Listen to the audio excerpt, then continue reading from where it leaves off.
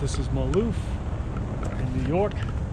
Haven't skated in literally 20 years, no exaggeration. First time hopping back on skates. I would kill for a place like this when I was still skating. Gotta test my abilities first, see if I can still do regular, just move around on it, you know? But just checking out the features here. Nice box. Oh, that's a nice rail. Ledge to grind on. Can't jump no more. Okay, gotta work on that. It's been a while.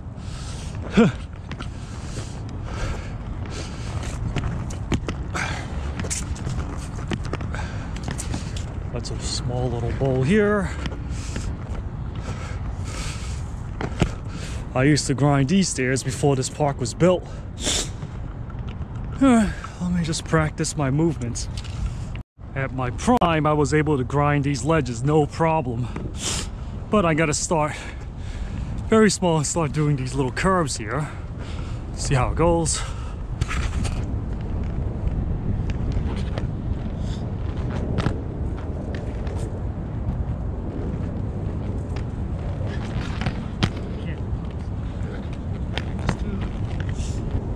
Here is my first attempt at trying to lock onto a ledge that's way too short, way too round. It is hard.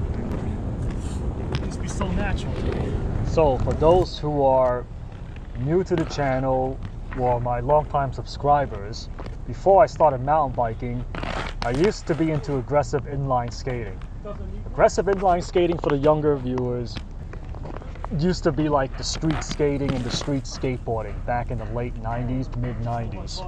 So you basically take these modified skates to grind on ledges. I was pretty decent at it.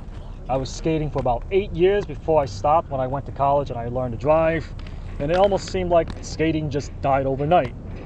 But lately, watching the video on why inline skating died from Jimmy the Giant kind of rekindled, uh, re-sparked my interest in aggressive inline skating. That ledge might have been too round. And this kind of, This got a hard when you edge. see me trying to hop back on skates for the very first time in 20 years, as in I've never even put on a pair of skates in 20 years, trying to figure out if I still got it, if I could still do this type of stuff.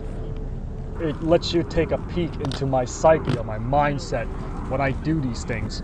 And you can understand why I ride the way I ride and why I love the session.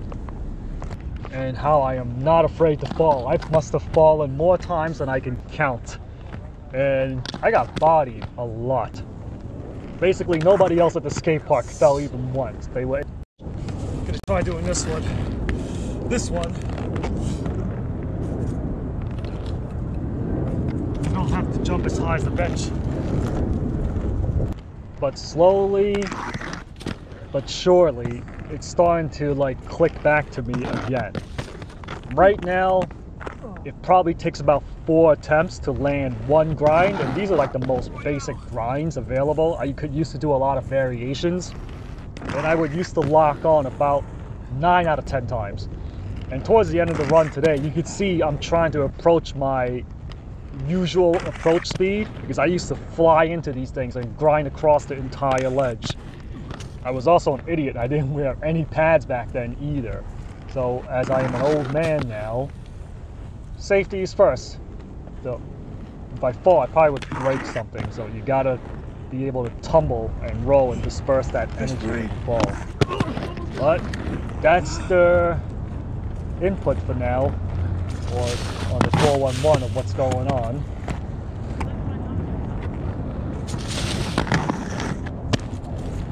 Yes. I can't believe how many tricks I'm landing already. It's only been half hour. Obviously, I'm nowhere near as fast. I am nowhere near as smooth. Not as confident. But I used to ride this whole area. You go today. There. But it's not bad. Drew blood already on my finger. Definitely gotta wear protection. Falling on concrete is very different falling in the dirt.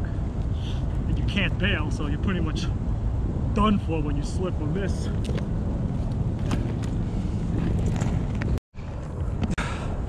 This is why I was having such a hard time on the first time I grounded. This is a square ledge.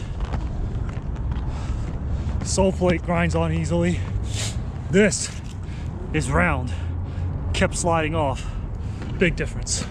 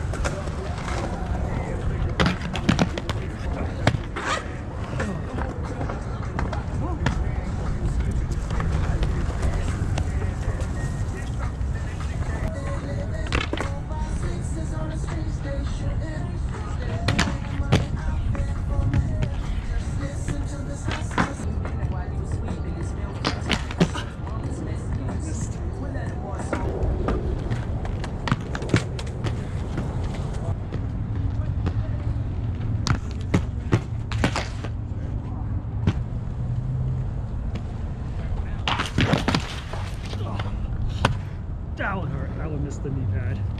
Ah. Need full finger gloves. Nails gonna come off. Ah.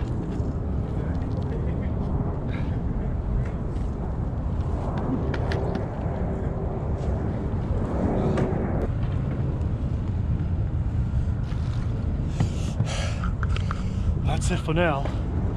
I mean, skated for about an hour. First time in 20 years, I feel pretty satisfied with the progress I've made.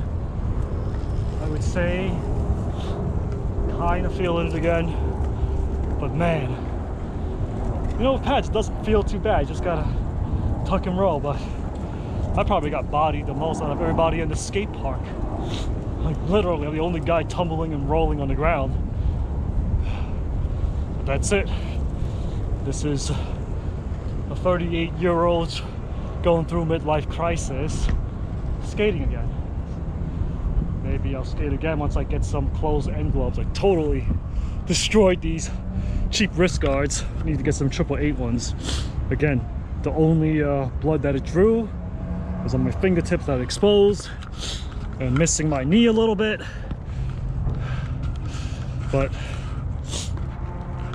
here's what the skates look like after day at the skate park missing everything. And I forgot to add another beautiful thing about modern skates is you can actually change the liners. I already broke these in. They had a few pressure points but all it took was one ride and they're all broken in they feel just like my old OG Majestics now.